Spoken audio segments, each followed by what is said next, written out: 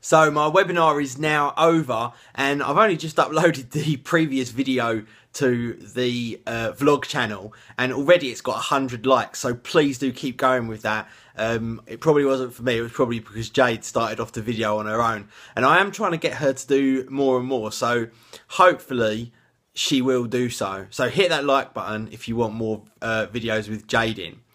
But the thing I was actually going to tell you about was that uh, it's really weird actually because every time something happens, I think, right, pick up my phone, tell the guys. but um, obviously, you guys are kind of virtual. But anyway, maybe that's weird, maybe it's not. I don't know.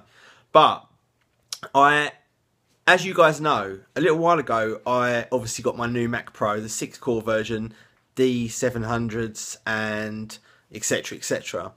So that was just a six core version. I then ordered up a 12 core maxed out version, but then decided that I didn't feel like I particularly wanted it or needed it for the money that it was going to cost. So, and it meant I'd have to sell my other one and all that kind of rigmarole, and I just didn't really see enough of a benefit considering that it came in at around eight to nine thousand pounds.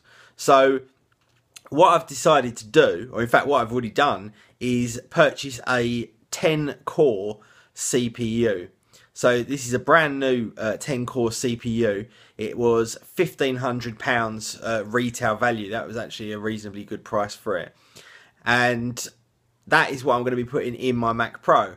So hopefully tomorrow, if it turns up in the evening, I will be, or it depends on what time, maybe at lunchtime, I will be putting the new processor in my Mac Pro, which means completely disassembling my Mac Pro which is quite a scary thought. But at the end of the day, I guess it's only a computer, and I've built a million computers, so it shouldn't be too much too difficult. And it's going to be very very interesting to see how that 10 core uh, performs. So I really cannot wait to see that.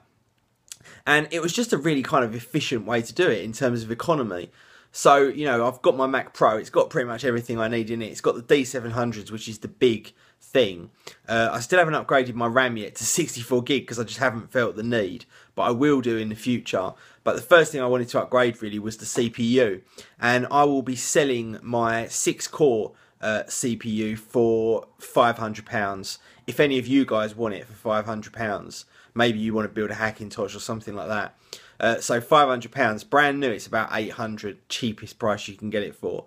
So that's quite a significant saving. And if you guys don't want it, then I'll put it on eBay and it'll probably go for more than that if I put it in an auction.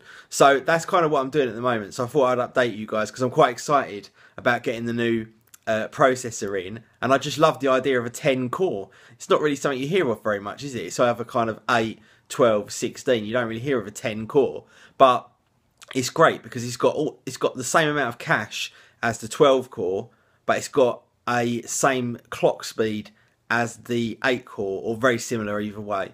So it means that you get kind of all the benefits from both uh, without losing the clock speed going down to the 12 core. And also the 12 core was another probably 30 to 40% more expensive. So kind of pointless in, in my book for an extra two cores. But the 10 core definitely seems to be the economical um, option, the, the good economical option. So that's the one I've gone for, and obviously I will bring you guys news and updates and the quick vlog unboxing uh, when the processor and whatnot right, comes so in. So it is uh, about half past seven in the morning, and today is a very very exciting day because we're going from six cores to ten cores, which for a geek or a nerd is very very exciting indeed.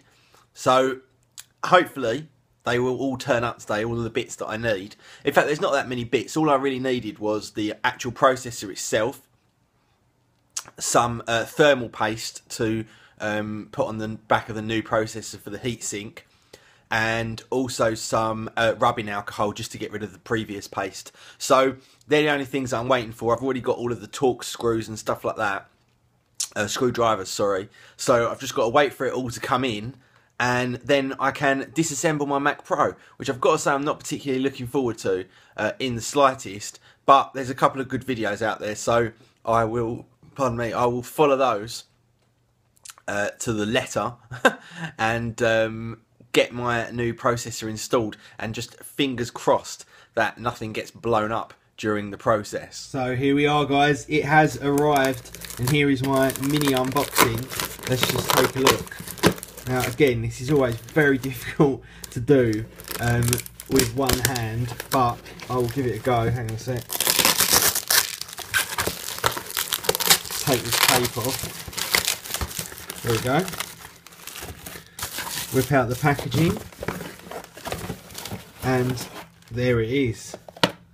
There is my brand new processor for the Mac Pro. So here it is, Intel Xeon processor E5 and the model number is E5 2690 V2 So this is the 10 core version. I don't know if there's any more details here on the back. No, it's just a load of nonsense really in different languages. Um, made in Costa Rica. Who knew? Uh, there you go again, Intel Xeon processor E5-2690V2. Um, I don't think there's very much point. Oh, here's some details here.